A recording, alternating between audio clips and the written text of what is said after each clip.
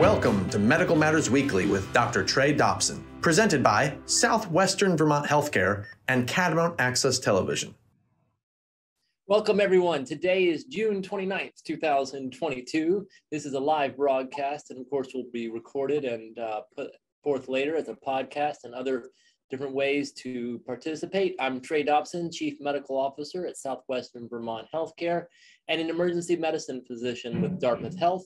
And this is Medical Matters Weekly, a show about the aspects of medicine that matter to you most. My guest today is Dr. Michael Roizen. He's the Chief Wellness Officer Emeritus at Cleveland Clinic. Uh, Michael, welcome. Privileged to be here, Trey. Thank you for inviting me. Do you like to be called Mike or Michael? Anything you want. Great. And where are you right now? I can see the light shining through your window in the background. Um, I'm at the uh, Cleveland Clinic at our Wellness uh, Institute uh, site or main site. We actually serve, um, have about eight different locations in, in and around Cleveland for Wellness Institute, but this is in Lyndhurst, Ohio, which is about seven miles from our main downtown campus of the Cleveland Clinic. Oh, it's great. So I'm going to give a little bit on uh, Dr. Roizen's background. And of course, in the audience, uh, you can always log on to the website and see the full bio. Uh, he has served several graduate uh, academic appointments at the University of California, San Francisco, University of Chicago, worked as the CEO of the Biotechnology Research Corporation of Central New York, which I'm going to ask you about because I'm interested in that. Uh, over 190 peer-reviewed publications. That's quite a lot of writing. Um, if you're, uh, if that's a question, uh, correct. Um, and uh, I was lucky enough to be at uh, NIH um, as a uh, what is in that era called the Green Beret or the Yellow Beret was actually what we were called. Um, we were an elite group of medical people who were recruited, uh, and we applied and went through a winnowing process. And I got a really wonderful background in research there. It was uh, um, during the Vietnam era, and the closest we would get to Vietnam was Bethesda, Maryland. They told us, um, and so that was the the reason they request. They had thirty of us a year. Uh, Dr. Fauci was one of those in a prior year as well, but I got to work with uh, Nobel Prize winner Julie Axelrod and Irv in their lab, and that uh, started the. I, I learned how to both do research and write about it in that period. Well, that's great. And yes, that was a question. Actually, I was kind of just throwing out the statement. That was remarkable. And I, I was hoping you would explain how you uh, got through that. Also, has served on uh, advisory committees to the Food and Drug Administration um, and, and, chaired one of those FDA committees. Uh, has authored uh, several books, four number one New York Times bestsellers.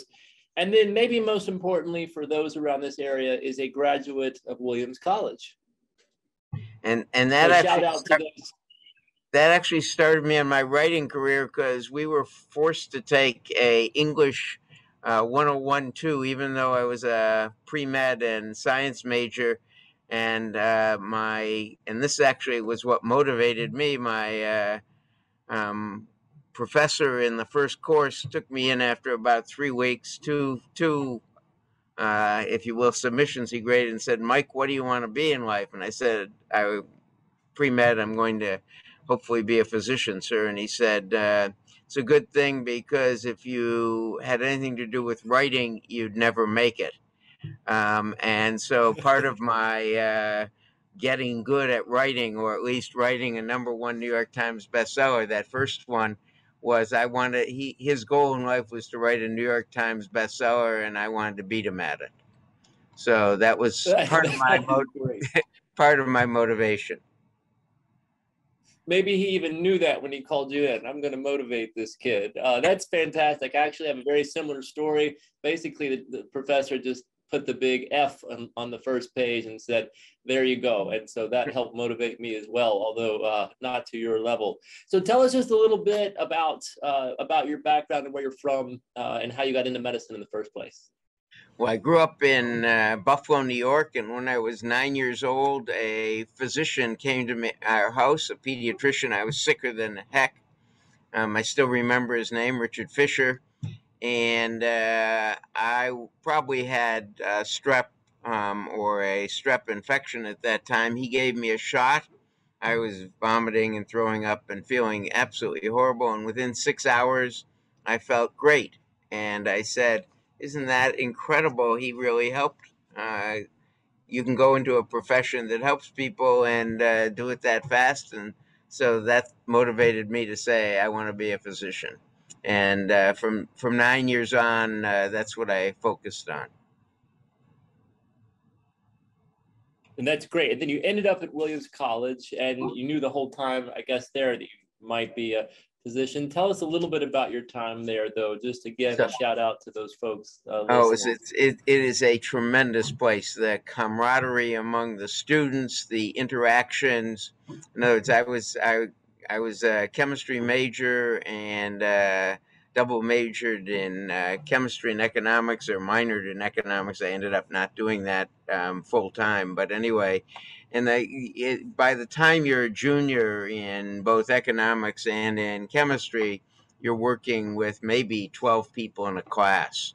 Um, so there's a lot of intense uh, effort.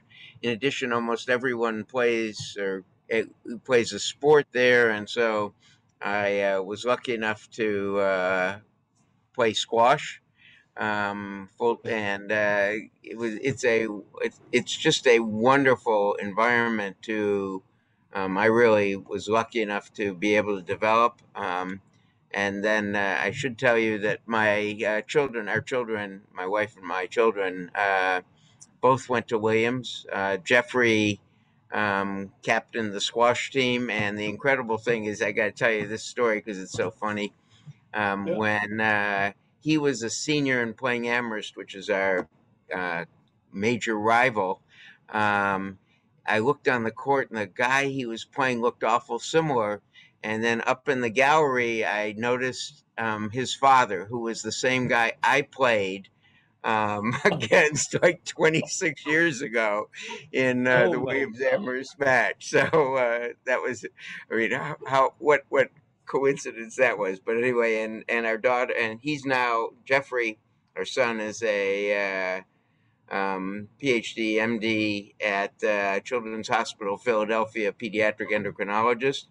Our daughter went there also. Uh, she um, was the la- I was one of the early students J. Hodge Markgraf had as a uh, understudy, if you will, and uh, Jennifer was our daughter was one of the last. Um, and she went on to Caltech, got a PhD in organic chemistry, and now uh, works uh, to help alternative energy programs at the Department of Energy. Well, in California, is that where she's based? Uh, she's actually based in uh, Raleigh, Durham, but also in Washington D.C. Okay, well, that's, uh, that's and, fantastic. And uh, my wife, the the one of the uh, the best things I did was uh, met my wife in an emergency room in Cambridge City. Um, uh, she was an intern at Mass General when I was a resident at Beth Israel in Boston, and uh, she asked to borrow my ophthalmoscope and otoscope, uh, and so uh, that we got married, and that was the best thing I've done in life. Oh, what a what a great corny doctor pickup line! Then may I borrow your otoscope? I love it. oh, tell us a little bit about the public health service, and, and one reason I also bring this up uh, is we've actually had several guests, uh, and I've noticed that folks that went into public health um, or did did a time with public health service really have some insight in, into medicine. And unfortunately, I did not do that myself, and and I missed that, and I love learning from those who have. And so the the lab was a um, intense lab. You have a Nobel Prize winner running the lab. Um, you you have a a, lot of so um, a, a, lot of uh, push. Um, so at, at, NIH in that era, there was a, in one room there was a Mettler scale, how you measured out the compounds there was clearly a push to develop science to invent. But when you went to that Mettler scale, at I would go there at seven in the morning. Uh, Julie Axelrod was in the room, he his desk was there. There was one scale in the lab, and he was he was he had his office in that where the scale was, and so you knew when you went in that room, he was going to quiz you no matter what time you did it, because um, he was there from 7 a.m. to at least 6 p.m. every day, and he was going to quiz you on what the heck you were doing and why you were doing it that day. And so it was a wonderful experience of, of uh, both being forced to, to express yourself, to um, understand what you were doing, and he gave you new ideas and new challenges. So it was a it was a uh, wonderful lab. Irv Kopin was there, and every um, he was the other lab mentor, Kopin and Axelrod, and on uh, like two days a week, Wednesdays and Fridays, uh, he would have uh, hour sessions with you where he'd uh, go over what your plans were for the week and what your results were and where you were going with your research. There was also a group of people in the lab, so we probably had uh, over the four or five um, what we called yellow berets there, who um, all really intelligent people who we kept in contact with. Justin Zivin was one. He's the guy who brought uh, TPA to stroke from heart attack and mm-hmm. took a lot of uh, grief about that um, because the company didn't want to risk Roche at that time didn't want to risk uh, losing their myocardial uh, enterprise, and they didn't want people to worry about brain bleeding. But he forced through it and uh, made major discovery. Uh, and so he was one of those. Um, but a lot of people in the lab were just, it was just an incredible in both intense and wonderful experience. It was actually it started during the uh, my wife was at Hopkins doing a residency then, and uh, so as you remember in that era the uh, gas crisis occurred. Um, so we started. It turned out two weeks before uh, the gas crisis, a bus service. Um, I organized a bus service from Columbia, Maryland, down to NIH uh, so I set the time. So I said at six. We left at six fifteen in the morning and left NIH at uh, five forty-five in the evening. So I got to do a lot of reading on the bus um, while commuting, as well as organizing it. And so uh, it was it was a it was a wonderfully both intense and uh, fun time. You know, you mentioned NIH, and let me just say, you know, the audience here, Dr. Roizen, is uh, varies from physicians and nurses and those in healthcare to many in our area, in fact, uh, all of New England that um, aren't in healthcare themselves, they're interested in healthcare topics. And since the pandemic uh, began uh, in 2020, the, the public has really learned a lot of acronyms, CDC, FDA, which they already sort of knew, uh, ACIP, and, and and now, when we talk about the NIH, though, they're, they're not as familiar with that, that term. Physicians are, of course, because we understand the research behind that. But can you just explain what the National Institutes of Health is? So yeah, that, so uh, NIH has a, an idea. That's exactly right. NIH is the National Institutes of Health, and it was the major driver and still is of health research, of medical research. It was the major driver of basic research um, in uh, starting in I think it was around 1954 or so, or whenever it, it began. I think it was around there, and uh, still is the major driver of um, what we would call basic research, the mechanisms of disease, the mechanisms of treatment. Um, the uh, the Cancer Institute was one that developed new therapies. Vince DeVita was um, one of the young stars there who still is practicing as chair of, I think, uh, um, oncology at Yale. Um, but he was there for about uh, 30 years. And uh, as I said, HIV uh, and uh, a lot of viral diseases were uncovered and their mechanism of treatment um, and a lot of the the basic science that went that goes into helping us advance cures and helping us advance treatments were developed there. That's great, and you know, for the for the audience, so and in other words, a lot of the protocols and practices that uh, we've been following over the last couple of years in trying to tackle this, um, you know, this new disease with COVID actually come from uh, NIH reviewed and developed uh, methods of treating and you know preventing disease. So we we listen to the NIH quite a bit, quite a bit.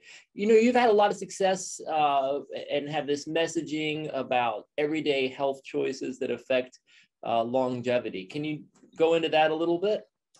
Um, sure, and uh, I, I, I should put a disclaimer on. Uh, next book is called The Great Age Reboot, um, because we're going okay. to get a major change. So when um, hmm. when I was I, I did I wanted to run an ICU um, as that's where I thought you know like that pediatrician you would get immediate results. Um, so I in the era I trained in there weren't ICU training programs, so I did both internal medicine and anesthesia in addition to my research career. And uh, a year out of fellowship, I was actually running in 1978 um, an ICU at University of California, San Francisco, having a ball, and they asked me to to co-chair cardiovascular anesthesia. And it wasn't because I was so great; it was because the surgeons were relatively difficult to work with. And so um, I uh, found out what they really cared about was how fast their patients returned to function. And California had kept a database since the night since I think it was 1967, about 12 years at that time, 11 years, on what mattered to outcome. And when I looked at the database carefully and when we analyzed it, um, it was physiologic age. That is not how old your calendar said you were, or your brain, or your kidney, or your liver, or even your heart or lung function. It was actually um, how old your body was physiologically. So I said to say, how do we make people 10 to 20 years younger in the two weeks surrounding their operation? And in learning how to do that, which we learned how to do, we then had to say, how do we motivate people to do that? And so that's when the concept of real age started. Real age is the actual age of your body as opposed to your calendar age. And it includes all those things in disability as well as risk of dying. And so we developed the algorithm. It's now on uh, 45 million phones in the US and 27 million more worldwide. And uh, that was our way of trying to motivate people. And when we started doing it, the, the web, that was in when we started planning this, uh, the web was very new, and so most people weren't using the web at that time. And so I insisted on keeping the academic rights to the, the real age concept. And um, in doing that, I wrote a book and um, on, on that, Real Age, Are You As Young As You Can Be? It turned out that uh, Oprah wanted to do something on aging in 1999. And so the producer called me and said, Will you do something on aging? And I was told by the publisher, You can't do it till at the earliest a week before the book is out because no one will remember it more than a week. So I said no. And at that time, Oprah was in her uh, highlights. Um, and uh, the producer came and visited my office. I was at the University of Chicago as chair of the department at that time and said, No one's ever said no to Oprah. Are you sure you, you know, this is, you may never get another chance. And uh, so I said no again. And then when February 23rd came, um, you'll look, you can look this up, February 23rd, 1999. Um, we were on the show. We had the whole show, but there was a huge snowstorm in the east, oh. and everyone had to stay home. And Oprah was the big thing to watch it uh, from one to four p.m. in the east. It turned out um, that you know in the first I was a deer in headlights, right? Because it was my first time, and the producer came over, and in the interim. Uh, between the first and second segments. It was a sweeps week, so she had seven uh, if you will, land based cameras, but she also had 17, uh, and she and Jerry Springer were neck to neck 12.4 and 12.5 million uh, viewers uh, in their shows, and it meant a lot in ad costs. So turned out when the producer came over and said, "You got to be more animated." I said, "Isn't she?" And they said, "No, you got to be." So I, um, so Oprah comes back and said, "What can I do to make my real age younger?" And I said, uh, um, "Floss your teeth more, red wine, and uh, more sex." And uh, which were three of the things that, uh, um, and so she went crazy with that. At the next break, when we came back, um, there was there were 300 women in the audience, four guys. So she goes to one of the guys and she said, and he's got a handheld on him, right? So he's front and center, just like we are now. And she said uh, uh, to him, "Does sex make your real age younger?" And he said, "Oprah, I haven't had it in so long, I wouldn't know." That wasn't the key. Oh, His wife was next to him, and she gave him a look Oh, and you're not going to for the next 20 years and uh, she went with that as the as the promo for her show. That was at 9 a.m in chicago. She went with that as the promo for the show. By the end of the show i think we were at 22.4 and, and springer was at 2.5 um, so uh, that that uh, um, obviously changed the way um, real age got promoted since uh, a huge number of shows got it um, and so You got uh, involved with the daytime TV wars there. right and so it was it was beautiful we knocked out i mean this is crazy right we had more attempted hits on our website that day than did aol which was the if you will got mail site and uh, not only that we knocked right. out our, our our servers were in san diego where the tech guys were located and we knocked out uh, the internet from uh, seattle to uh, san diego for eight hours that day it was like a denial of service before there was no there was such a thing anyway so that was uh, Right. that's how we got to motivate people um, to get younger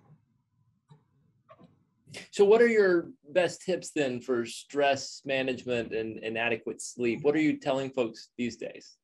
Um, well, as, as I, the the interesting thing is, so we at that time said sixty could be the new forty, and it has shown up to be because, if you will, if you do, and there are 151 choices you can make to um, help you make your real age younger, but it now the research in aging mechanisms is such, and that's why we wrote the Great Age Reboot book um, that uh, and it's not available yet, so I can show it without any uh, fear, if you will. But it, you can pre-order it on Amazon, etc. But in any Yeah. case, um, the point is 90 will be the new 40. We're going to likely get a 30-year jump in our rate of aging because of the science sponsored initially by NIH, but now um, throughout the the world on aging mechanisms. The best tips have come, believe it or not, were already established on stress in the 1960s from the Alameda County studies and the Whitehall studies in Great Britain, which are the best things are people, your posse, and your passion. So having a posse that you can, uh, that is friends that you can be vulnerable to, is the best thing you can do for stress, as well as having a passion. Why do you get up in the morning? What is it that drives you? Obviously, you can tell from my crazy um, enthusiasm that this drives me the ability to get to explain to people they have the choice. Now, meditation helps and guided imagery, and there, there are 12 different other techniques, but the strongest ones are posse and passion. As far as sleep, um, that's also the same things. That is, you you want to do a bunch of things that ensure um, that you're not stressed because stress is the reason people often get up at night. The second reason is you want to make sure, and, and there's, there's some a whole bunch of of what you would call mechanical things. You want to plan for sleep. You want to do it at the same time every day. Um, so, if you will, a, bunch of medical things. You want to um, do the sleep hygiene, you know, brush your teeth and, and those things and plan for it those times so you don't feel rushed at the end. You want to Um, take 10 minutes to do the things you're going to need to do the next morning, like pack food for kids. You want to have that all planned so you can go to bed in a relaxed fashion at the right time. Um, and then you don't want to have a lot of water in the two hours before you go to bed. Yes, you want to hydrate during the day, but in the two hours beforehand, you don't want it because you don't want to get up to urinate and not fall back to sleep. Mm-hmm. And the second reason is your brain gets rid of its poop. Your brain cells waste when your mm-hmm. brain shrinks a little during the night with dehydration. And when it shrinks with dehydration, it opens up channels between the glia cells, like lymphatics in the rest of your body, that get rid of waste. So you get rid of brain poop at night, and that's why you don't want to drink a lot. And so there there are a whole bunch of little mechanical things that we've gone over. Changing the lights in your bathroom and bedroom so they're only red wavelength lights, um, no blue wavelength after within two hours of going to bed. Changing your cell phone and there's an on on the iPhones and on Android phones there's an automatic red light shift so you don't see blue lights for 2 hours before you get go to bed. Um, and you can do those things on your TV as well if you want to do that. But the point is that there are a whole bunch of small mechanical things that make sleep better. But the key for sleep is actually um, not having stress. And the key for that is uh, a passion for what you're doing and a uh, group of posse, a posse or a group of friends. I love it. I love it. The stress part in particular, because when I see people that are stressed, patients mostly, but also uh, medical staff, nursing staff, other people that I work with, the stress has really just morphed into uh, straight on anxiety and and they're paralyzed they can't move and in fact a lot of us uh, almost everyone at some point during uh, the past two years particularly in the beginning of 2020 felt that anxiety that was just paralyzing and one major way to get out of it, besides the posse, of course, of, of friends to talk about, is really having that passion, developing that. And I think a lot of people have written about it and shown it to be true. Um, you know, before the pandemic, of course, but uh, the pandemic has really has really you know highlighted that. I've seen that among patients and and staff. So you've done quite a bit. And as we just finish up here, and again, we appreciate your time. Tell us what are you most proud of, uh, either professionally or personally, since you've uh, been working. Well, I suppose uh, personally, I'm most proud of. Uh, I've been I've been lucky enough to be married to my wife for 49 years. So I guess that's one of the two things. And professionally, it's that uh, when people have analyzed our real age program um, it is it has the best what we call receiver operant curves. It has the best statistical prediction of how long and well you will live, and um, so it, it it is. I'm proud that we did the science right on that, and and that's true for the Great Age Reboot. I'm proud that that we're we've we kept a academic bent and a scientific advisory board that wasn't there just to to bless things, but was there to analyze and criticize, uh, much like a National Institute of Health study section would do each of the data points we used and how we did it. Um, I, I, should tell you that that the the uh, net what real age is the net present value of your health choices. The same way you get net present value of investments for investment advisors. Um, it was done by uh, it was help the person who helped me design it was a guy named Gary Becker, who I got to uh, care for. He has said that publicly. So I got to care for him. He won the Nobel Prize in economics for the net present value of investments. And so he helped me. Uh, I, I got to care for him, and he helped me uh, do the analysis of covariance and the, the net present value. And, and I'm, I'm proudest of that we kept a real scientific message in that although it was obviously tailored to humans. I mean, well, you know, we say go nuts and go fish and a lot of fun things. I mean, that's why the books have sold so well and why, you know, four became number one New York Times bestsellers, not only in the US, but in five other countries, including Canada. Um, so the point is, I'm, I'm proudest that I've uh, been able to help motivate people with a solid scientific bent so that no one's criticized, that no one's been able to um, uh, if you will, criticize the science for not being accurate. Thank you so much for sharing your time, Dr. Roizen of the Cleveland Clinic. We really appreciate it. You know, maybe uh, after this book comes out, we can have you on the show again next year and we can uh, answer some questions. I know one of the major things people are going to want to know is, am I starting too late? And I think your message is no, you can start. Uh, I'm going to say that. So I was lucky enough to be on 2020. Barbara Walters asked me that uh, same question. Oh. She said, um, "When is it too late?" And so I said, "When you're six feet under." Until then, you get to change what your genes do.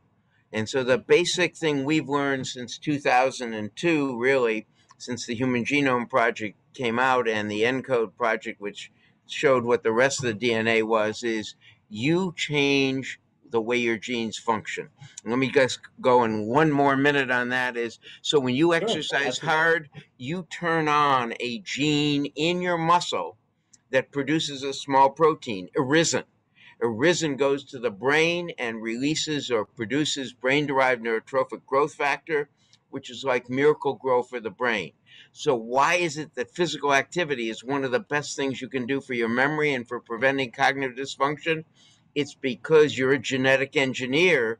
And when you do exercise at an intensity, whether it's weightlifting or walking, whatever you do that stresses your muscles, you turn on a gene.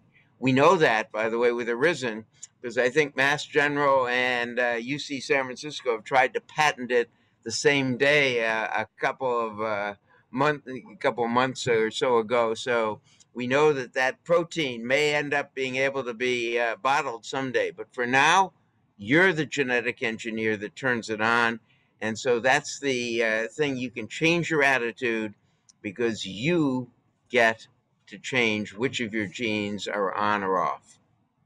Well, that's an excellent and comforting message. And we look forward to to reading your newest book that is coming out soon. When do you expect it out, actually? Uh, so the Great Age reboot comes out. I'll, I'll show it again shamelessly. It comes out uh, September thirteenth. Oh, great! Soon. That's great. Yeah, this is this is just an advanced reader copy. So uh, this isn't the real book yet, but September thirteenth. September 13th, great. I'll also thank Mike Cutler from CAT TV, Ray Smith from Southwestern Vermont Healthcare, Ashley Jowett from Southwestern Vermont Healthcare. I'm Trey Dobson. Go out and find joy in everything you do, even in the face of adversity, and we will see you again next week.